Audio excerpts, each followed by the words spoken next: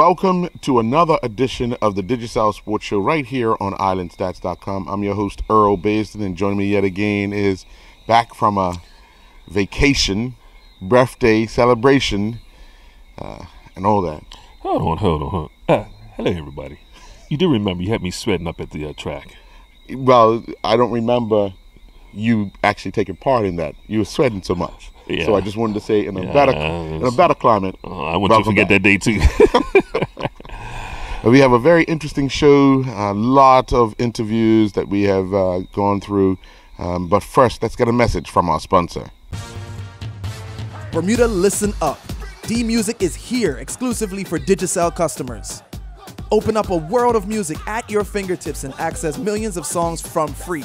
With D Music, you can easily search for your favorite artists and create playlists to fit your lifestyle. Plus, you have the option to download music to your device so you can find a song for any moment, even when offline. D Music comes with 1 gig of free data to stream and download songs without it impacting your data usage. That's 32 hours worth of music. Visit us in store or online to see how you can get D Music today. Well, Jay, news coming to Island Stats and the Digicel Sports Show that all is not well at St. John's Road. Uh, obviously, there's been a development. Um, I had a chance to earlier today interview the, uh, I want to say, current, soon to be former president of the Western Star Sports Club. Let's get that interview with Willis Still. Willis Still, rumor mills all around St. John's Road that uh, the current executive have all tendered their resignation. Um, can this be confirmed? Um, everyone except for one individual has um, pretty much tendered their resignation. What what brought this about? Um, uh, I had called um special general meeting last week to for the purpose of adopting our new constitution, bylaws, and standing orders. Um, we didn't get a quorum, so um, we had a discussion. Um, I opened up the floor. Well, well, the, in a general way, the floor was opened up so that um, members could speak. There was about uh, maybe about 13, 15 um, members there, and um, they expressed some dissatisfaction with. I, I'm not gonna say the other the other executive, but with me as president. But um, and um, their their main their main concern their main concern was that they didn't see me enough at the club. Um, the bar is never open, um, and that that for me that seemed to be you know their their, their main um, their main their main gripes, um, and um, they asked us they asked us to resign. recently um, going to get the uh, renew the, the liquor license, the liquor license board. All the clubs have to go there. There were some challenges of clubs, and, and your club was one of those clubs challenged for a length of period of time. What were some of the things that was discussed in that that you had to sort of take into consideration for the day to day operation of uh, the Western Star Sports Club? Oh, you don't know the half of it, man. I tell you, you, you know, these folks, um, for them, it's just a matter of coming to a bar and having a drink. Um, obtaining a liquor license is very in depth. And I would imagine that there was a time when you could just write to the liquor license and quote unquote get your license renewed. It's not like that anymore. The social climate in Bermuda has drastically changed, as we all know.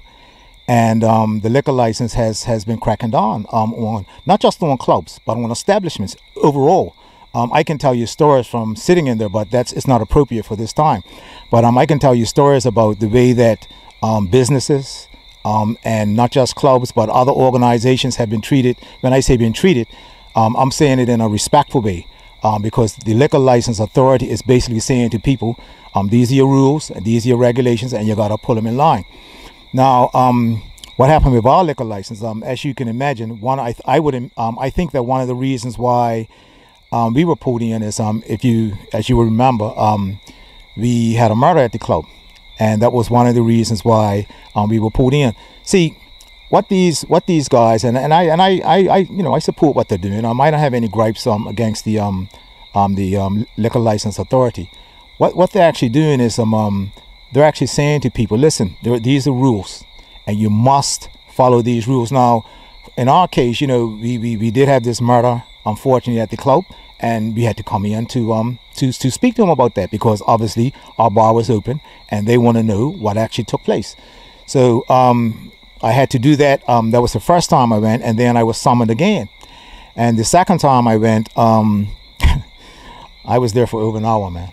I was I was uh, like I could if I could put it this way, I was on the stand for for for for for, for, for cl- close to or over an hour. Um, and they were, you know, asking me a whole lot of questions about um, about the club, about the the bar, and um, just about the club generally, and all that sort of stuff, you know. Um, and people just don't know. People just don't know the half of it. And and the thing is this: that once your once your license expires, it's quite obviously you can't operate until you get get another one. So it's not on me to determine when I get the license. So it's, it's up to the liquors license authority to either grant it or deny it. So um, I was there for over an hour, man, and I could tell you, um, um, whilst I, I enjoyed the the dialogue with them, um, um, it was it was it was it was rough. It was rough, you know, to know that, um, you know, you have to go there on behalf of members to to have discussion about what takes place at the club. So what next for the Western Star Sports Club? What's next for you? What's next? what's next for me? Well, um, what's next? When you say what's next, you mean what am I going to do from her? Uh, yeah. What, what What's next for Willis Deal, who's now not the who will tomorrow hand over uh, the role of president to someone else?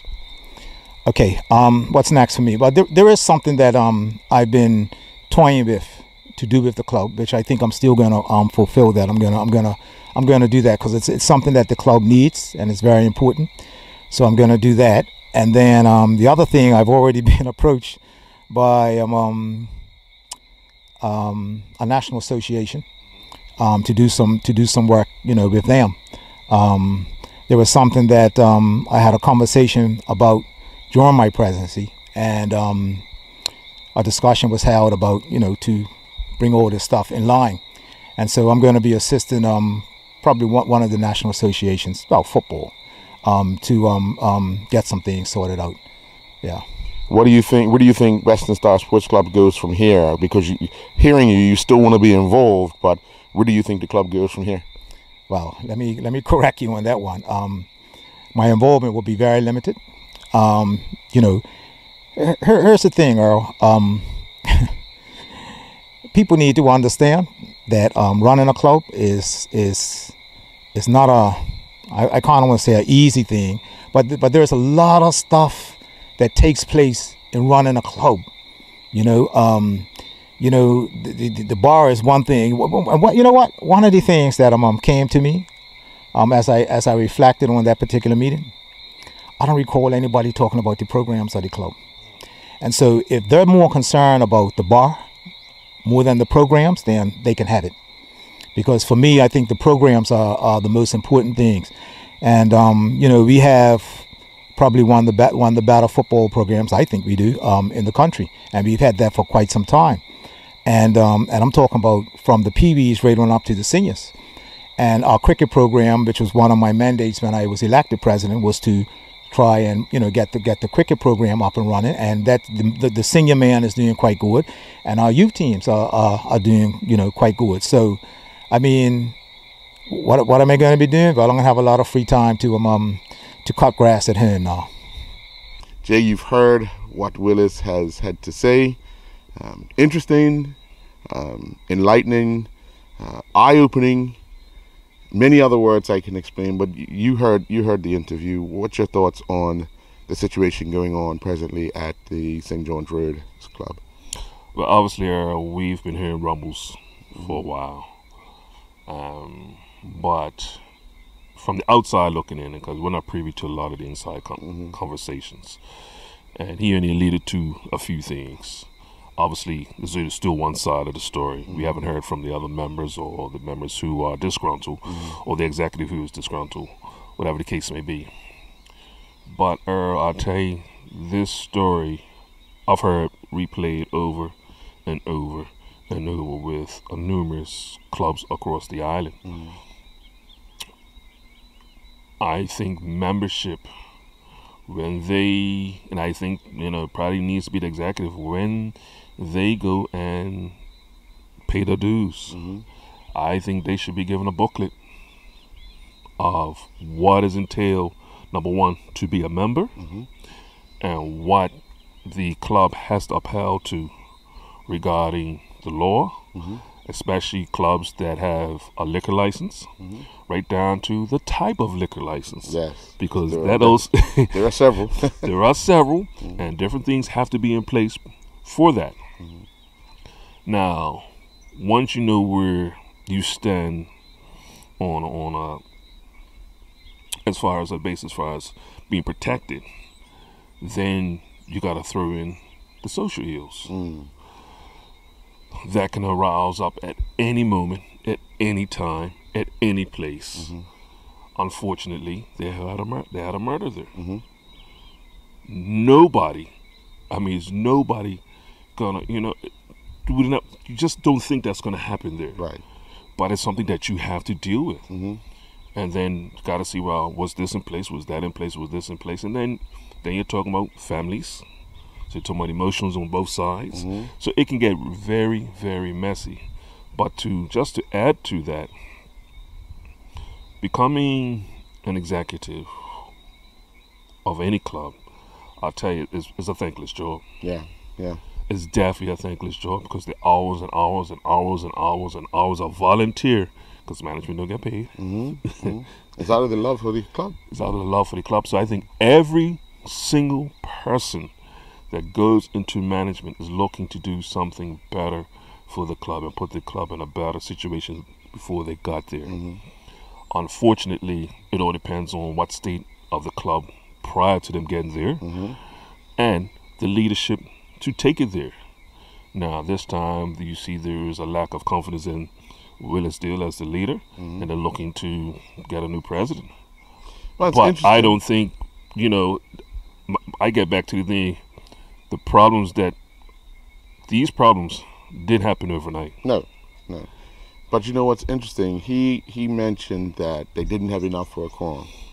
So um, maybe he should have or should call another AGM with this as the agenda to see if maybe the other people that did not show up are in support of what the current executive are doing. Eh, yeah. Because it weren't that many. But you're absolutely Yeah. right because when you say that, realistically, by their constitution, if you don't have enough for a quorum, it basically it's it's not a void. Right, it's, it's it's just a discussion. right, which they had. So it's nothing on the books to say as of yay or nay. Mm-hmm. Um, but you're absolutely right, and it could be for different reasons. Maybe the word didn't get out. Whatever, whatever. Mm-hmm. Right. But just playing devil's advocate right, Right. now. Right. Um, but in saying that, Earl, these problems we've heard that it's from east to west. Oh, yeah, without a doubt. and every club in between. I think if you had a discussion with club presidents, and I know they have organized, they they did talk um, around the um, shootings and murders. Mm-hmm, I know they came together for some of this, but I wonder if they, these meetings kept But they have they have a president's committee A that, president's that, committee, that, that continue to meet. and and I'm pretty sure they are all going through the exact same thing. Now, what what I would love to see, and this is this is a wish list for me, Earl, because after speaking with a few ill members from a couple clubs a couple of years ago, um, talk about some of the history of why these clubs came about and how they was able to thrive Yeah. in the 60s Right. in the 70s. Right. Um, they didn't have all these programs. They just had a few, but you know, they had more families into It it was less distraction. and last right. And see, this is Less distraction. that too, but also there was a collaboration Right. from all the clubs. Yeah. They work together. If they all worked together, Mm-hmm. they didn't depend on somebody else because they all did it together. And I just give you a, a, a very quick synopsis. Even when it pertained to the bar, they talked about the bar, but Mm-hmm. I knew at one point in time, many clubs pitched in and brought the liquor together Mm-hmm. in containers and then dispersed it amongst themselves Right. accordingly. right. But these are the things that are cost savings that could probably even help them. Even though that happened many years ago, I think something like that could happen today. Mm-hmm. Right. But in saying that, sometimes, and we talked about it earlier. Sometimes winning sort of covers up Oh, yeah, without a doubt. a lot of when, problems. when you don't do well, it's always somebody's fault. Um, and I think people need to stop, reevaluate certain situations, and say, has this has this problem manifested itself over the course of a long period of time? And if it has, why now? Is is the fact that we're not winning the reason we're bringing it up now, or um, is it something that we we feel is is unable to continue with? Uh, take out the winning part, take out the losing part, and and for most of it, it's winning covers up so much wrong stuff or negative stuff that is going on at the club that should be addressed while you're winning, and not when things are going Uh, it's winning at what cost? well, yeah, yeah, because a lot was thrown by the wayside while some the team was winning. So, you know, you, you look at those type of things and you say to yourself, well, um, I'm very interested in the statement that he made, uh, referring to there wasn't much conversation at the time about the programs. Mm-hmm. You know, and that's where I would like to hear more about. Has the programs flourished on this presidency? Well- have they have they gone to the next level in this presidency? Mm-hmm. Because now we're talking about the aesthetics of the club itself. This is what you're supposed to be in the community for. If you're lacking in that department, then I could definitely see a change for presidency. how interested in it that they've asked for the executive to resign when all but two of their program teams are abroad.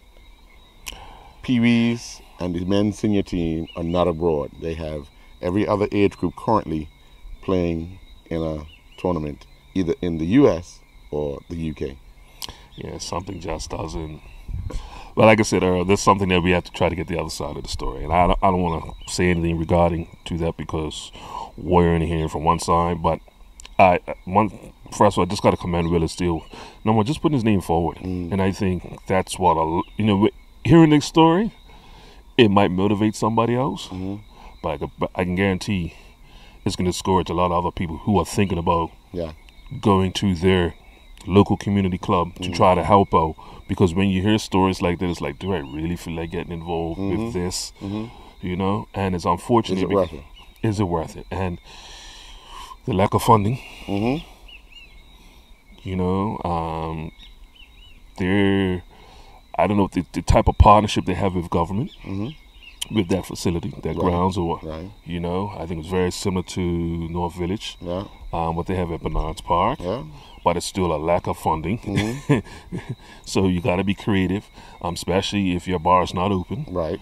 But your bar could be open due to other reasons. Mm-hmm. Um, trying to cool the social climate down because some clubs do that Right. to cl- to cool the social climate down. If you're having too much activity that's ill activity around the club, the easiest thing to do, number one, is just close the bar down Shut it down. and and, and try to calm the. So you know, it's a lot of things we don't know that too many variables that go into place. But mm. once again, it's it's not a good day for the folks around St. George Road. Open up a world of music at your fingertips and access millions of songs from free with D Music, exclusively from Digicel. With D Music, you can stream and download songs and create playlists of your favorite artists to fit your lifestyle. Whether you're working out at the gym, getting ready for a Friday night, or just chilling at home, D Music comes with one gig of free data to stream and download songs without it impacting your data usage. That's 32 hours worth of music. Visit us in store or online to see how you can get D Music today.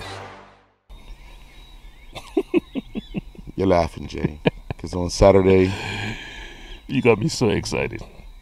Oh, oh you got me so excited. I think everybody was excited. Oh, you got me so excited. Western County Cup competition round two. Southampton Rangers, the cup holders, against Somerset Bridge, the challengers. Rained all day Friday, overcast and rainy. Rained most of Friday night into Saturday morning. The match was delayed two hours uh, due to a wet wicket. Um, Somerset Bridge won the toss and sent Rangers to bat. which will be the correct thing to do due to a wet wicket. Um, most captains will do that Oh yes, without a doubt. without a doubt. Nobody would know the you know How that wicket's going to play. play. The problem was the wicket was doing a lot more than anyone would have imagined. Um, We saw players going through strokes early because the ball was sticking to the wicket. Mm-hmm. It wasn't coming off as fast as they thought it would come off. Mm-hmm. Um, Kwame Tucker hit here straight in the air. Mm-hmm. Uh, a simple ball that down the leg side. All he's trying to do was just help it around the leg side. Mm-hmm. It would top the edge off the because he was through his shot early, so it hit the, the, the edge. So it's actually slower than slower than a lot slower than than what they um, may have thought. Ian Ian Armstrong, uh, uh, just looking to push the ball through the onside. Mm-hmm. Uh, the ball, he was halfway through the shot, and the ball hit the bat and lollipop to the man at middle one. Uh, those type of things where um, it was it was definitely something that um, Somerset Bridge exploited to bull Southampton Rangers out for 142. Mm-hmm. I think everybody on the south and middle road and north side of Somerset Bridge came a running Yeah, because here's an opportunity. With one problem, Jay, they had to go in bed. the wicket hadn't dried out enough, Yeah, and Southampton Rangers has bowlers that exploited that wicket and took full advantage of the lack of application that Somerset Bridge showed in their inning, 37. well, one word you said just now, application, and due to the dry summer we've had so far, Mm-hmm. there's nothing you could train for this. Right. There's no other way you can prepare yourself to play on a wicket like that unless it's a day like Saturday. Right.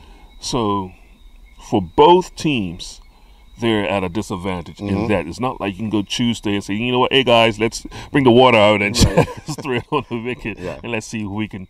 No, it's there, but it's the application of it, and once you recognize, you know, what is it doing, then it's then it's how do we apply our experience to this because most guys have probably played in posi- in, in on wickets like this, but how how often? When was the last time? So you got to Right. try to draw off experience. Right. Well, that's what that's the difference between the two teams. Yeah. Mm-hmm. One team is vast amounts of experience to play in many conditions on many wickets, and another team is not. Right. Well, definitely, um, Dion Stovell, Janeiro Tucker, and Alex Dorr showed their patience and experience. Mm-hmm. Um, all three made it into the 30s um, in their inning, uh, which was just shy of what Somerset Bridge made altogether. And and you know with Somerset Bridge, and and I'll say it from year to year, it's one of those teams that it doesn't matter it's Thursday, Sunday, Tuesday. These guys come play with heart, mm-hmm. but it's the experience of players that you probably got about three, two or three really experienced players, and, the, and then they have coaching on the field themselves. Right. Now, over the years, they've been a better fielding team. Yes. They've been a better fielding team. Their problem is is in the batting department, Right. and in the, the likes of uh, Woods, Mm-hmm. No. Charles, Right, Donnie. and Riley. Yeah, Sean. If they don't produce the goods, Yeah. then it could be a, a very very Short day. yeah Well, let's hope that the under 19 cricket team who departed Bermuda yesterday heading for the ICC Americas World Cup qualifiers have a better time at the sport than uh, Somerset Bridge did on Saturday. Let's get the interview with the national coach, Clay Smith. What are some of the things you've been working on this past week to ensure to give you that, that boost you're going to need once you hit the ground running? Well, first of all, let me just say um, thank you to Bailey's Bay because we've been up there from Monday to Thursday, and then we've come down to St. George's on Friday. And the hospitality has been first class, and we're very appreciative of that. Um, over the last couple of days, we've been doing a lot of running between the wickets, and because in our practice games, that was one of our what we noticed was one of our weaknesses. You know, not turning ones into twos and twos into threes, getting these guys to understand the the art of actually running hard. You know, um, from a bowling perspective, making sure they understand what field places they need to be bowling at. These guys are young; they're very, they're still learning the game, so sometimes they have some very awkward fields, you know. So we're just making sure that they're, you know, tidying those little things up and getting them to just be consistent with their lines, you know, um, bowling to a field placing. Um, and from the batting aspect, basically trying to, uh, uh, we've had a few sessions where all we've done is told them we don't want nothing in the air. We just want them hit the ball on the ground because traditionally as Bermudian small fields, they like to hit the ball outside. Having been to Canada with the national team, these fields are huge. They're not those little you can miss it and guys will catch you 20 yards off the boundary. So we're getting them to hit the ball on the ground, hitting gaps and running hard because that's what it's going to take once we get out there, you know. So um, they've come a long way as the weeks progressed. Um, and the good thing is that when we get to Canada, we'll actually have everybody there. Um, Marcus and Jabari, I think, come back either today or tomorrow, and the boy Rudy will meet us right over there. So we have two practice games plus maybe two sessions before the actual tournament starts. So we should be ready come competition time. We, over the last few years, have struggled internationally, especially in, uh, at this age group. Um, what are you hoping or what are you looking for this time around to be different? Well, to be quite honest with you, this this group here is a very relative is relatively a young squad. Out of the 14, I think 11 of them are still able to play in the next tournament, and we have maybe about four or five that could play two more tournaments. So they're relatively young. So right now we're really looking to be competitive and try to win. If we can win two out of the four matches, I think that will be a really good tournament for us. Now, again, the cricket's played on this day, and like I said, like I told them, if we continue to do the right things and and play to our full potential, ability-wise, we can we can do it.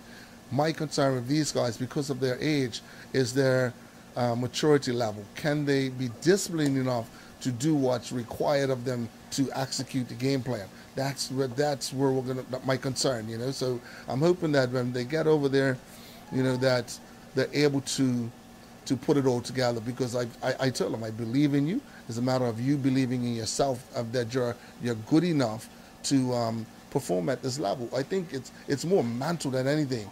Talent wise, they have it. It's just mentally, you know, like I talked specifically to LJ, for instance, last couple of weeks he's got 70s. Why haven't you been able to go on to get 100? You know, and we've talked about these things. What do you, what, what goes through your mind at these stages? You know what I mean? So again, not being satisfied with scoring 50 because you're, you're okay. Well, I'm scored an international 50. No, go on and get 100. You know, so I put a couple of incentives in for the bowlers and for the batsmen. You know, so hopefully that will encourage them to think big rather than being satisfied with low 30s and 40s. You know. Your experience uh, in Canada, you know about the conditions and, and, the fields in which you'll play on. Uh, what do you what do you see? Um, who do you see as a standout for Bermuda um, to take advantage of the wickets in which they'll play on and the conditions in which they'll play in? well, uh, to be quite honest, if you have 11, I have 14 players, and obviously we're going to pick our best 11. And out of those 11 that we pick, I'm, I'm, I'm expecting three or four of them to to to perform and, and help us to win the games. We have so many different match winners. Um, but I don't want to single anybody out because on the on the day, any one of them can be match winners. And like I told him, it could be your day one day, and tomorrow will be his. But as long as we do everything that, because everything that we do has to be team orientated, you know what I mean. So again, um, the good thing for us is that we have some players like Nairobi Mills, you have LJ, you have Kushai Darrell, Tybray Robinson. These guys have been playing at premier level. So they've been playing against quality opposition, and um, hopefully their experience at that level would shine and show come tournament time. Bermuda, listen up. D Music is here exclusively for Digicel customers. Open up a world of music at your fingertips and access millions of songs from free. With D Music, you can easily search for your favorite artists and create playlists to fit your lifestyle. Plus, you have the option to download music to your device so you can find a song for any moment, even when offline. D Music comes with 1 gig of free data to stream and download songs without it impacting your data usage. That's 32 hours worth of music. Visit us in store or online to see how you can get D Music today. Jay, last week, um, the president of the Bermuda Football Association and other executive members, President Mark Reid, and other executive members uh, headed off to New York for the start of the Gold Cup, but also to have a meeting with the CONCACAF president um, to discuss just some Caribbean matters. Uh, he wants to meet with various countries around the Caribbean and in CONCACAF to go over some of the things that he wants to have in place, what some of their needs are, and try to um, have some dialogue and how the the region can help the countries such as Bermuda that have all these issues against them as far as um, Okay, say the number one reason. Let's go. plane tickets, cost. Uh, Cost. Keep going. What's the overall word? Dispersion of finances. Yeah. And that's, you know, obviously from what's going on in the last couple of years, Mm-hmm. we still haven't heard from this president uh, what would be. He's saying there's going to be a more equal dispersion Mm-hmm. of, of funding. Um, but we haven't heard, the public really hasn't heard that plan yet. Um, we It's in Canada, man. well, we I was only gonna say that we know that it had been skewed to certain major Yes, yes. people in the region. Well, we know one thing for sure that they're working on right now, bidding for the World Cup, Mhm. and that's between Canada, USA, and Mexico. Mm-hmm. So um, we know where the intention is. Yes. Um, How the other countries in the region um, fare fare in this. Um, but he Mm-hmm. And- might have been trying to just get. And and if you look at it, and if you look at it, it could work two ways, even with that, because let's say it does end up in one of those uh, the countries there. Obviously, the funding's going to come, definitely going to come, but now that might be able to trickle it throughout the region Right. also. So it, it's it's something that's got to be a balance, but it would just be nice that we get to hear some publicly when it regarding to funding. Right. Well, let's get the interview with President Mark Wade prior to his visit with the CONCACAF president. Audio Jungle.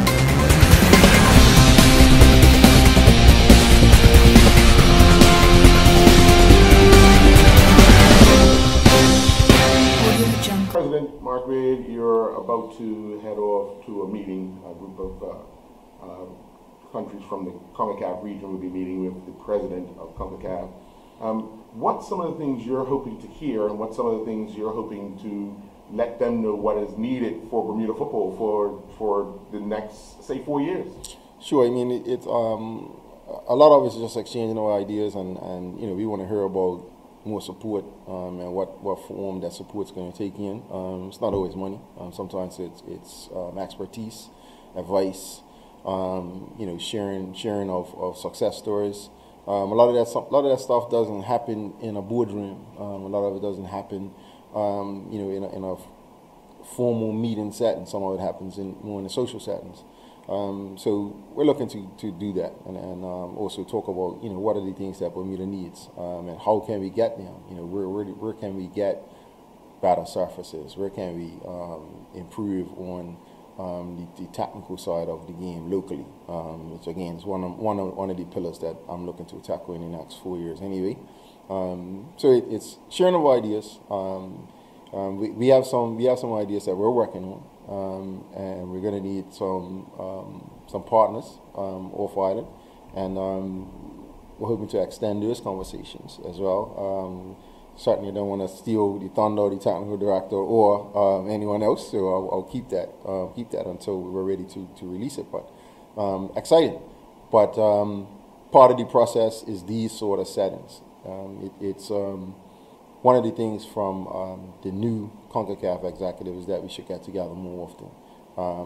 And it doesn't have to be a full Congress for us to sit down and chat about, about football. And we're seeing the fruits of that already, where we, um, we're, we're able to have um, discussions about certainly the Nations League, which is a big, big change for everyone. Um, and you can't package all your, your, your questions and, and comments in an hour um, because you, you go away from that meeting, um, and I certainly did the first time it was presented to me. Um, and by the morning, I have more questions, but of course the meeting was over. So um, you have the opportunity to talk about that. And um, so I'm, I'm hoping to have a, a bit of conversation about the Nations League um, and, and even some of the feedback from the technical team um, and, and find some, some answers to questions um, and our way forward, you know, what changes we, we have to make. Uh, so there's a it's quite a bit on the back of my mind that um, we can discuss in these kind of settings. What about the fact our geographical location hurts us in the, the wallet when it comes to either us going or, or teams coming? Uh, that type of discussion with the powers that be within the CONCACAF region to assist us even more because of that fact. Yeah, um, that that's that is actually a part of the discussion whenever we get together. So um, you know, we were we were at um, the funeral of Captain Burrell last week. Um, couple conversations about that. Um, you know, what, what what should we do? I mean, we had a lo- a huge conversation about airlines and the Caribbean airlines and how well they're doing and how well they're not doing. Um, so there's there's Air Antilles, there's Air yeah Caribbean, there is Liat, there is there's a few of them. Um, but understanding the airline business um, is is something that we need to to get our heads around um, because that's been one idea. Why don't we have a, a CFU airline that um, helps to transport teams of all levels? And does that commercially make sense? Um, so you know, there's a there's a some of the discussions that, like I said, you, you can't have those in, in one setting and one seating either. Um, you know, because as you as you absorb information and internalize it, then you you know you, you come back with something else.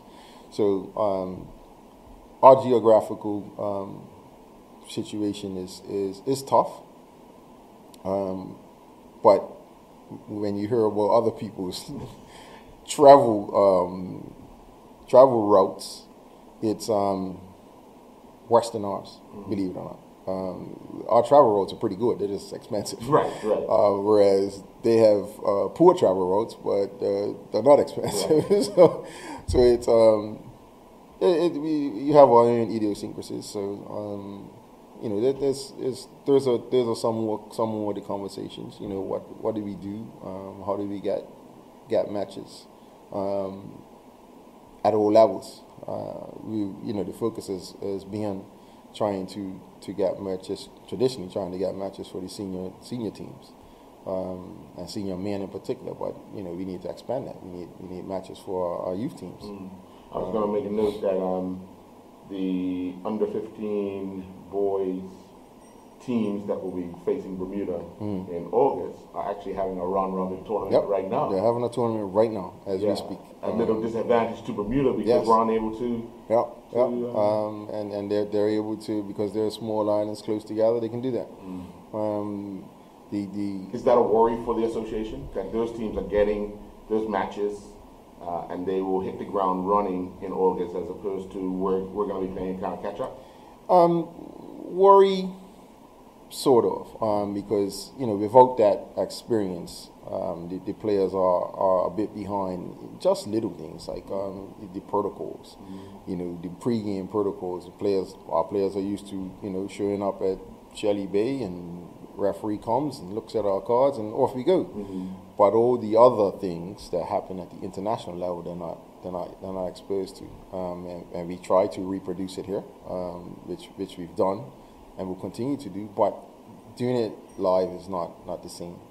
Um, so it's definitely that part of it. Um, we try to replicate the the um, intensity of the game by getting players to play older age groups. Some sometimes our under 15s will play men, just to just to bring that intensity and faster pace of the game. Um, so we try and replicate it, but of course, um, not doing it um, for real is is is a is, is a concern. Um, so we have to. We, we're certainly going to consider how do we get matches for them. The easiest thing for us, and it's probably the route we'll take, but um, that's entirely up to the technical development director, is we'll probably start to go back to regional competition in the U.S., which is not international football, but it is at a higher higher caliber um, and a higher level, and um, you know hopefully that that it, it certainly worked for us in the past, um, but we need to you know figure out how we can go further than we did in the past. So. All right. Well, I know you're in a hurry to get uh, to the airport for your meeting this evening, Sure. tomorrow. and- Yes, um, back but, on uh, Saturday. we look forward to your return and possibly some of the discussions uh, that you've had, and, Sure. and possibly what direction we can go in in the very near future with um, all of football. Absolutely. Yeah. Thank you. Thank you. Audio Jungle.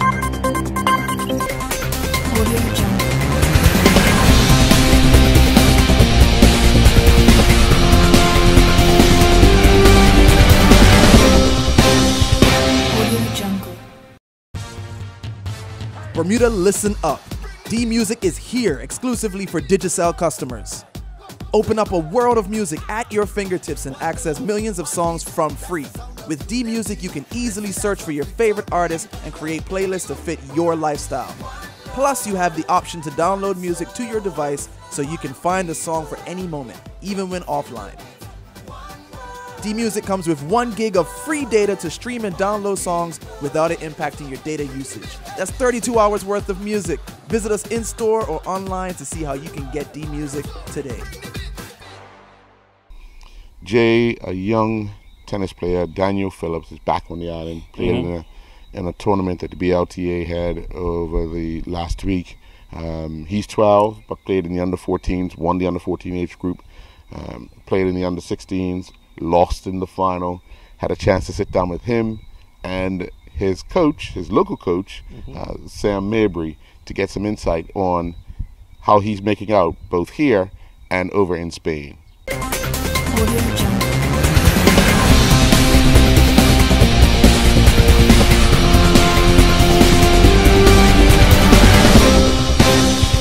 Audio Jungle. Daniel Phillips, uh, been back in Bermuda for a little while now. Uh, just recently played in a junior tennis tournament at the WER Tennis Stadium. Yes. But you played two ages up from what you are, which is 12 years old. You played in on the under 14s and A on the under 16s. Um, what are some of the things that you were doing? Obviously, you're playing people older than you, uh, a little more advanced, uh, in- if I could say that, a little stronger than you. Um, how did you think you fared in both the under 14 and under 16, knowing that you won the under 14? Um, well, during the under 14s, I was I thought the first couple matches would be a little bit easier, but then as the more matches I won, the harder it got. But basically, in the semifinals and finals, I was just spinning the ball back to get the guy near the fence so I can come up to the net and attack or volley it away. Right. And under 16s, it was really hard sometimes because the guys are obviously older, stronger, wiser than me. But I did work my way through it, and somehow I got to the finals. But it did work through in the end. Now, looking at the looking at the, the two finals, um, obviously with the 14s, there's not in Bermuda. There's not that much of a gap. I mean, you've been playing over in Spain and over in Europe for quite some time, so Yes. um, you're a little more advanced. So even though some of those 14s would be a little stronger, you're a little a lot wiser than they are and able to. But when you come to the 16s, it becomes a little tougher. Now, you pretty much breezed your way through the Bermuda 16s, hmm but had a little trouble with of, obviously another experienced um, player in the 16s from the UK because he's on the ITF Junior Tour. hmm Um, so, what do you take from that under 16 match? I learned that if you win, you don't learn a lesson, but if you do, you do. And I learned that this guy's obviously older and stronger, but I need to practice my strategies and just like what I have to do to get the point. Yeah. Talk us through the experiences you've had over at uh, the Rafael Nadal Academy. Well, the experiences are is not like Bermuda. You cannot play two years older than your group because the people are obviously a lot more better than Bermuda some players. But eh, I learned that sometimes in the 12s I would not even make it to the f- to the third round because these guys are like they know what they're doing. They know they've been doing this. So, but I did do really good out there. I feel. Yeah. What other than the language, because obviously you have the language down now Yeah. somewhat. Um, what are what are the challenges you find as a 12 year old being in a in a different place? I find it. I get homesick some days where I just wanna.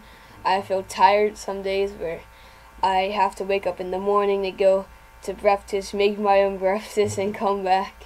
And then I have to clean my room. Then I have to get myself organized and on time for when I have to go to school and do my homework by myself. So like there are some good things and some bad things. Some of the good things are is making me more of a man.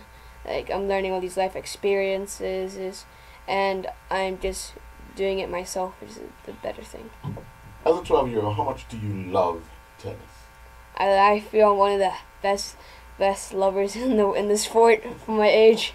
I really love the sport from young, mm-hmm. but there are some days where you just don't want to get out of bed, and sometimes I fall into that trap and don't do it. But I feel I really love the sport and I want to go through. Who are some of the people you've leaned on over the years, especially being away from Bermuda, to to get that support to motivate you yet again Do you mean in Spain? in Spain in Bermuda? Who was some Uncle Sam, of course, Yeah. like the main supporter. My mom, the the community in Bermuda, basically the community, and the island, the island. Uncle Sam, my mom, and there was one player out there that like treated me like I was his family and stuff. But Who basically. like his name, he was like from Bulgaria and stuff. He'll pay for my lunches, my dinners sometimes. Yeah, he like he'll help me string a racket sometimes. He'll go out with me on Sundays and Saturdays to hit with me. It was really good. What's what's next for you? Next? Um, so once I finish here, August 11th, I leave to go play a tournament in England. Then I'll go, go in Spain, train, and then I might come back for for a tournament in Bermuda. in the October. Yeah. exactly. Okay. Right. Do you feel being away from Bermuda helps you focus more? You don't have the distraction of friends. Yeah, it Uh, focuses me. I, I just put friends out of the picture. I'm, I'm there to to win, to be the best that I can be. And like some of those friends I'll be playing against in the tournament, and I cannot take it easy on them.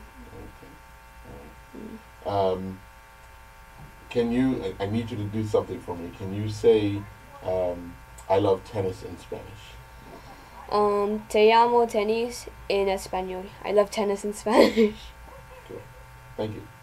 Thank you. All right, Sam, you you spent a lot of time uh, with a lot of juniors, but a special one in Daniel. Um, you saw uh, a star, if I could say that, uh, right from the start. He had the work ethic, he had the drive and the passion. But what are some of the other attributes you saw in him that helped to want you to push him to where he's at right now? Well, it was uh, his energy level kind of took care of that in and of itself. Uh, we have a, uh, we made a YouTube video when he was about six years old. And if you watch that video, you see him skateboarding, you see him uh, skipping, you see him running, you see he was he would run up the fence, climb the tree, fall down, fall on his back of his neck. You know, just one of those wonderfully energetic Bermudian boys, like you know what I mean, and just needed that energy to be directed and refined. And uh, as time went on, you know, he was able to stick in there. Uh, uh, he had his little cycle uh, accidents like everybody else, like you know what I mean, come up, all bandaged up and whatnot like that. Um, but he had a totally supportive family. His mom and dad, uh, the amount of time that they put in with him was over and beyond what normal two parents would would, would, would, would put in. And uh, you know that was key in terms of uh, having the faith in me to to to to not just coach him, but also to guide him to the other coaches that were giving the things that I couldn't give him. Mm-hmm. Now he, he he's over in Spain. He's playing high level tennis for a, a 12 year old. What are some of the things you were working on back here when he comes home for this period of time? Mm-hmm. Obviously, you want to keep him at that pace. It's mm-hmm. very difficult to find players other than the senior men players to, to hit with him to ensure that that intensity one stays high, and the other thing is that he stays sharp. Well, uh, quite a combination. Um, uh, ritual routine is is is, is uh, uh, uh, makes that possible. The disciplines that we maintain makes that possible. Him getting up, doing his runs, doing his core stretches, uh, eating right. So he'll you know prepare his uh, his, his own food now, um, keeping his room tidy, and then when we hit, the kinds of things that we work on are the basics because those never change.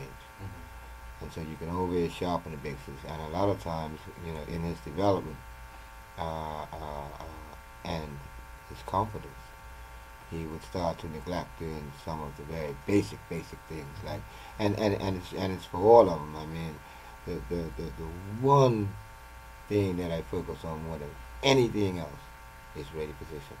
It's not hitting. It's not. It's not. It's it's ready position. Because no matter when you hit, it's you being prepared for the next hit that comes.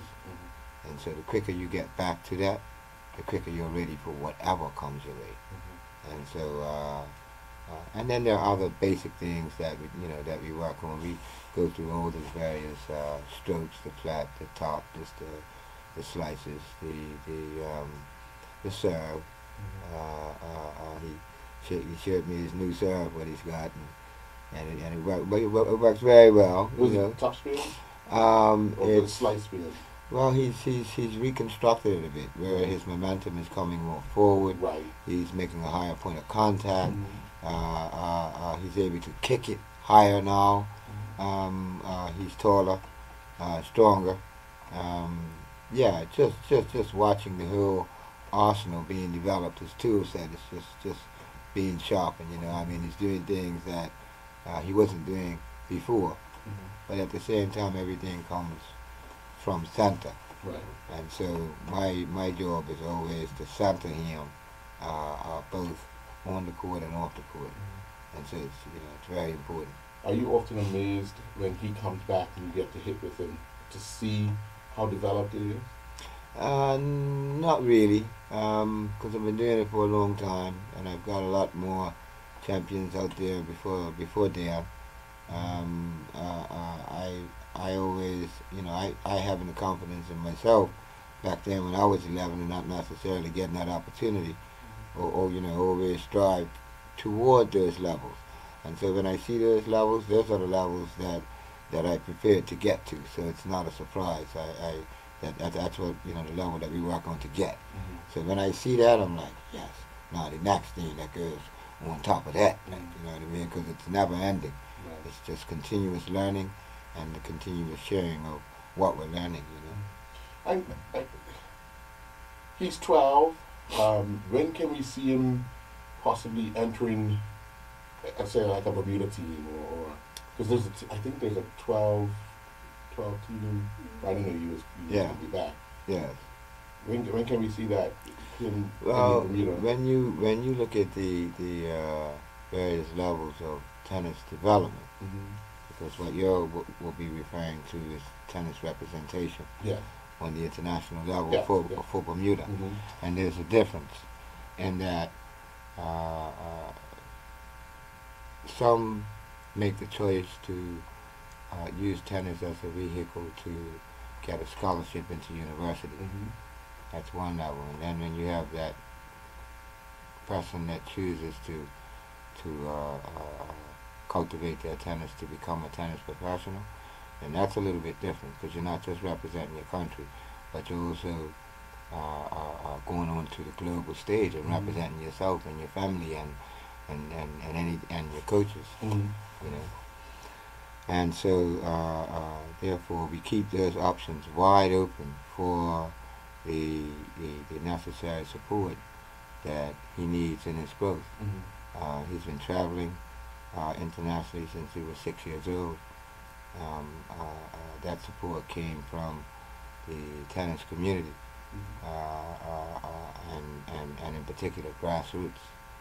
And so our loyalty is more with grassroots than it is for anything else, because as the pattern would normally uh, go, the autonomy, the, auton- the autonomy uh, uh, would, would, would shift to the governing body.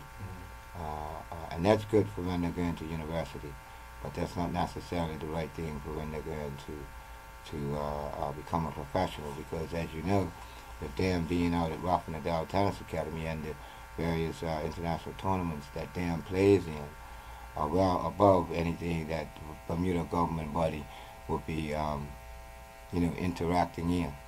And so there's a, a, a, a catch-22 there where, you know, looking at Daniel's development, we want to make sure that he's continuing on that higher level path because it's going to higher places. You know what I mean? Bermuda will stand to benefit from Daniel once he reaches where he reaches.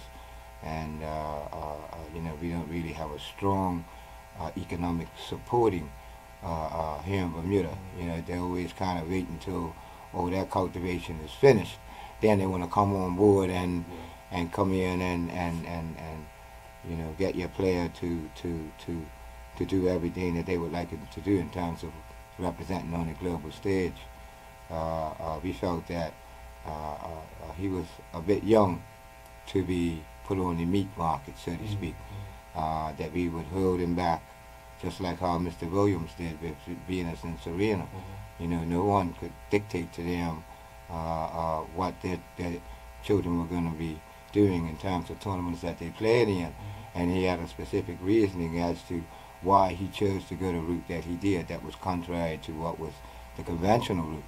And as you could see, his, his results proved to be correct. He was, he was uh, uh, uh, what's the correct word? Um, uh, administered into the Hall of Fame uh, uh, the other day of the NCAA, uh, what's it, the, the ATA, Right. um, National Black Body of Tennis, Mm-hmm. uh, but not necessarily accepted by the, the, the, the entire body Yeah. uh, uh, of tennis. And, and with Serena and Venus being what they are, it's no way that you can avoid coming to that, that, that fact. And so I'm, I'm saying that in order to come back to answer your question in reference to Daniel and representing Bermuda in the, in the, in the under 12s. Uh, uh, would be the same reason why we haven't played in the under 14s and the under 16s. Um, uh, uh, you know, those are the the, the, the, the, levels that he needs to reach, reach forward to, and and um, you know, just playing my political cards right, uh, uh, keeping things real and maintaining the autonomy. Most importantly with Daniel, because you know we we've got um, uh, uh, I should say I've got uh, Gavin Manders and and um, uh, uh, uh, Javon Ritter that just came back from Davis Cup and Island Games Mhm. and, and, and coaching them, you know, uh, uh, from the perspective of uh, uh, uh, uh, maintaining my sounding board in their life to assist them on the levels that they're dealing with. Mm-hmm. And uh, uh, uh, often, we, you know, we run into problems with the uh, uh, uh, governing bodies uh, that don't understand uh, from a player development perspective, you know, as much as they're responsible for the governing body administration aspect of, of, of tennis. There's a two clear different paths, Mm-hmm. you know, because like I said, some on the path to getting a scholarship at a, at a university. That's one thing. Some are in it, like Daniel, to become a, a, a world-class professional. That's a whole different ball game. You know, in terms of uh, international representation, you see uh, uh, Dustin Brown uh, uh, and the challenges that he uh, faced in his development. Uh, in terms of Jamaica not necessarily supporting him financially, and then him having to go to Germany because his, uh, I think his uh, one of his parents was German and meant there, and they gave him the financial support that he needed in order to go to top flight because it becomes very, very expensive. Right.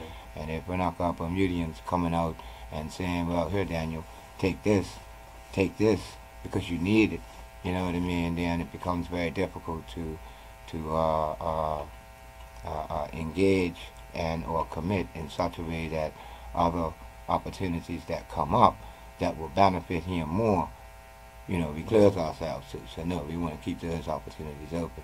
And so we, we, we hold on to that autonomy because we know and they know that Daniel is a special one. They know that now. You know what I mean? They've known that for a while. And, and um, you know what I mean? They play the cards the way they play the cards. And uh, uh, we're going to play them the way we're playing them, and the results show that, that, that uh, probably from an historic perspective, he's probably the first 12 year old that, that's ever made it to a 16 uh, singles final. Um, not alone win, the- win the 14th. I think that's probably been done before. But to make it to the finals of a 16, no, not in the history. Somebody would have to show me that. Right. When, in your talking with um, his coaches, because Mhm. obviously you guys communicate on Sure. what, what, how long before we can, he can possibly make that transition to tennis full time, be on the junior circuit, um, be a regular, you know, in in the sport. Well, um, uh, then we will be looking well, at 14.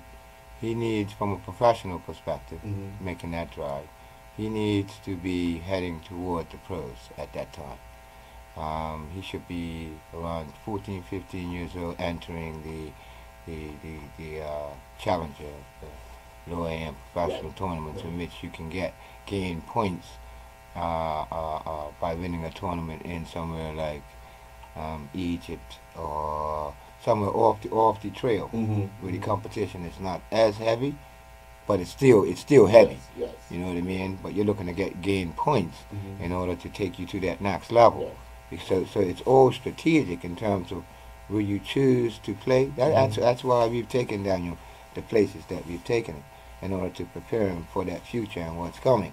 At 14, he'll play in the uh, Road to Wimbledon, uh, which is uh, uh, uh, a tournament series in England in which the, the children get an opportunity to actually play at, uh, at Wimbledon. Uh, uh, and Dan's mama, you know, mom being from England, um, he has that right.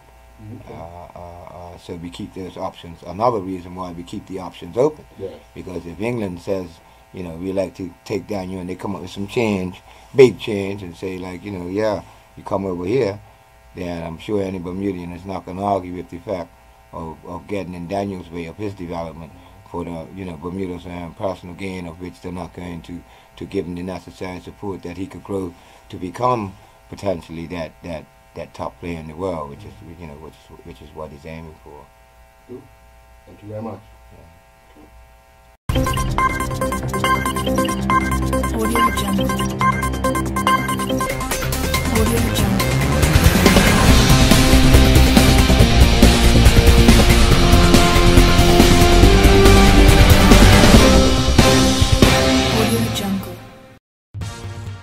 Open up a world of music at your fingertips and access millions of songs from free with D Music, exclusively from Digicel. With D Music, you can stream and download songs and create playlists of your favorite artists to fit your lifestyle. Whether you're working out at the gym, getting ready for a Friday night, or just chilling at home, D Music comes with one gig of free data to stream and download songs without it impacting your data usage. That's 32 hours worth of music. Visit us in store or online to see how you can get D Music today.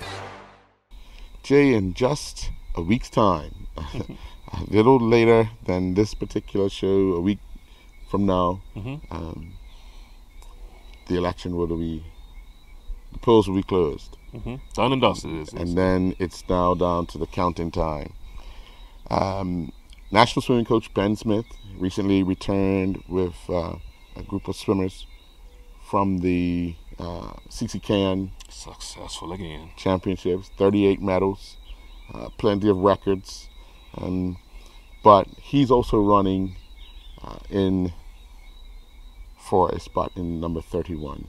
Uh, I got a chance to speak with him about if he is successful and if the OBA government is successful in retaining the government, what are his plans? Let's get that interview with Ben Smith. Audio Jungle.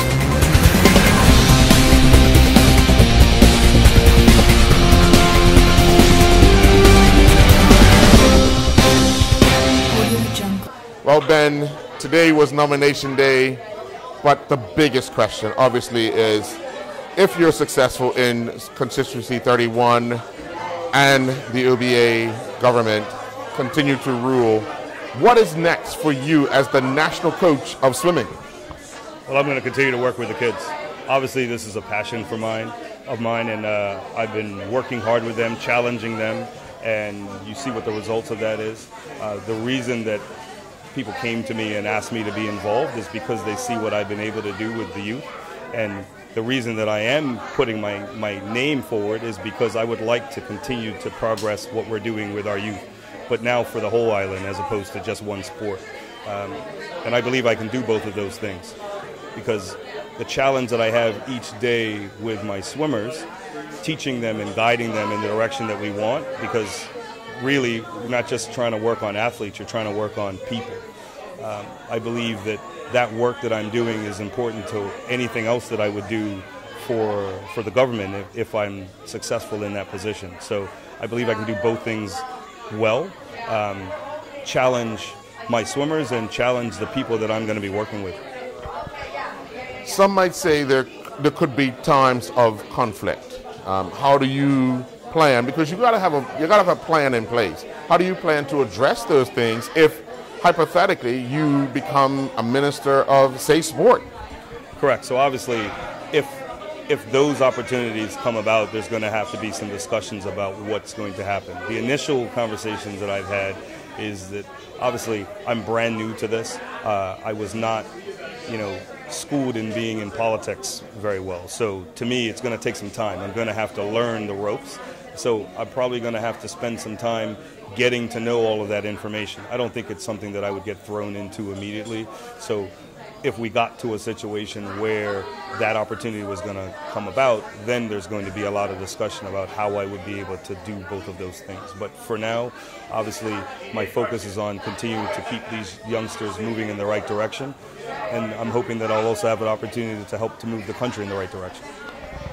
What has the day been like for you? Nomination day. Um, so obviously you've had a full schedule, and and the next two weeks will be pretty much the same. But what what would you say has been the highlight of the day for you? Well, obviously it was it, it's it's an it's an emotional day as well as a lot of kind of hard work. I finish on a high from what we were able to accomplish in Trinidad. I fly back early from the team, get back to Bermuda, get nominated. So when you put all of those things together, it's obviously a, a hectic schedule, but it's enjoyable. I, I, spent the afternoon canvassing and going door to door and, meeting people in Bermuda and discussing what the future Bermuda looks like. And then I get to come here and spend some time with my, my team members who have just had an amazing performance. So I can't ask for more. It's, it's, it's an amazing experience, and I'm hoping to continue with it. Well, good luck in 14 days. Uh, we'll be there right after to find out what's next for Ben Smith swimming and government. Thank you so much. Audio Jungle. Audio Jungle.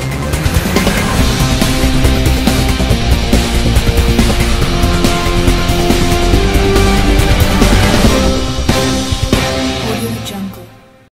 Now, Jay, you've heard from Ben, but uh, both sides are talking, but we're going to stay to the sports side. So both sides, PLP and the OBA, have talked about or muted a a very limited talk about a sports lottery because no one goes into depth about how this will be funded and what the target audience would be.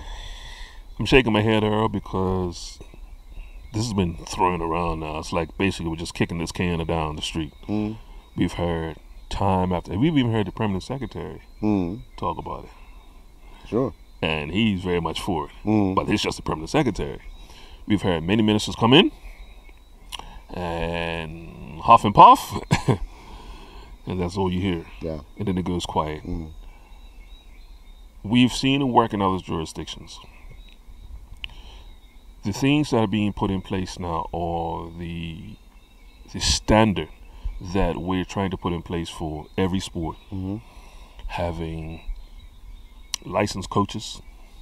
We see that in every sport now. These coaches have to be qualified, Mhm. licensed, the whole 9 Obviously, that's a cost Yeah.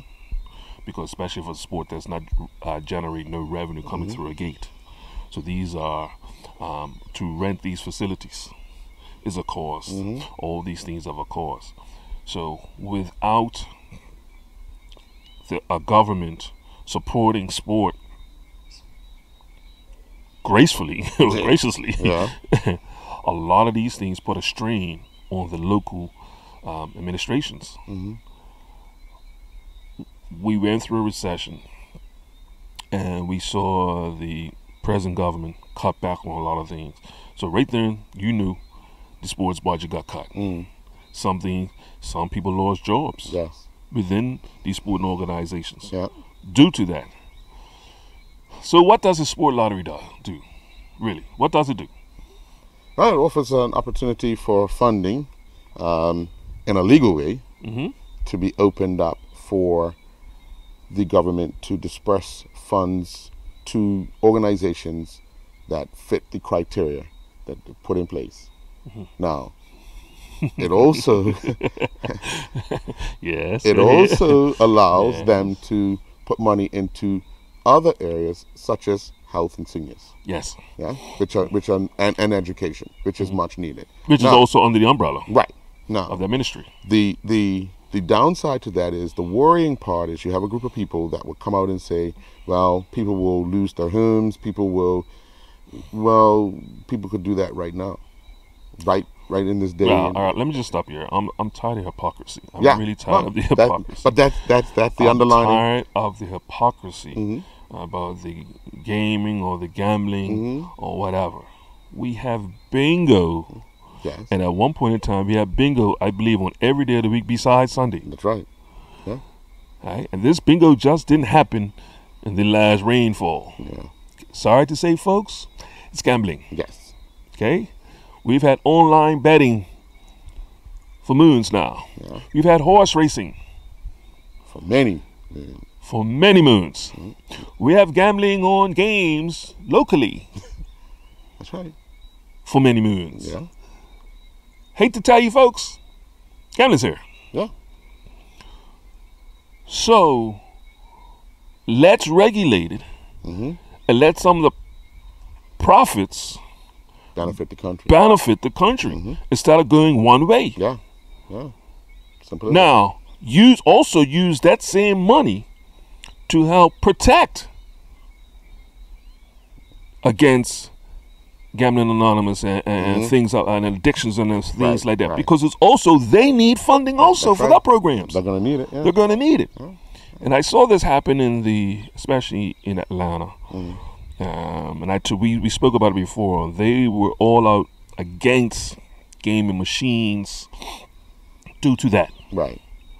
But a lottery, they were in it for. Mm. And we're seeing they they. I mean, you can read the reports regarding that how that's helped all those issues. Not only just sport, but also schools and infrastructure. Mm-hmm. Right. Which, well, that's another two stories we could talk about. But that's these are things that can help. Now, we're hearing both candidates talk about it. Yeah. But I, I mean, how politics is un- until you got a big wave behind you that's going to push you. Eh, You just keep talking and keep pushing this can But down you the know road. what the you know what the, the funny part is, Jay? Who's to say that any one of the two that are now currently present um, Minister of Sport and Shadow Minister of Sport will hold that position if Ren government is reconvened? Because there lies the problem, you know. Well, see, that's another problem we have. That's another problem we have. you could have your wish list. If if I am the Minister of Sport, this is what I'll do. But on the day, um, I'm swearing you in as the Minister of Economic Development, huh? Yeah, we, we we've seen that. I, I me personally, I think it's just irresponsible of, of, of the governing party Mm. or any party that puts somebody in a ministry that doesn't have a wealth of knowledge prior. Mm-hmm. I believe in this day and age, we just can't be learning on the job. where where we're trying to protect so many people. Well, And we're seeing that over with both parties over the years. So hopefully we have a sports minister. And I, I'm, not, I'm not knocking anybody in the past. I'm just saying, hopefully, you have a sports minister or an ex sports minister um, will have a very good idea and knowledge of these sporting organizations, what it takes to make these tick, but also what it takes to go forward because we, we just can't, oh, we did this 30 years ago. The world has changed. Yes. There's the parameters, are, you know, somebody moved the goalpost, as you want to say. Things are, and they're continuously changing. Yes, yes. Well, um, today was um, advanced polling. Uh, we're going to see if we can't tomorrow get a quick interview with uh, the shadow current shadow minister of sport and the current minister of sport um, to have on for Thursday's Digicel Sports Show. And like I said, it'll be interesting to hear how they felt we've come in the last few years, but also what's their insight Yeah. of going forward. Right. Well, that's the way we'll end this Digicel Sports Show right here on IslandStats.com. I'm your host, Earl Basden, and Juggling Jay, do enjoy your evening. Well, the, the thing is, right?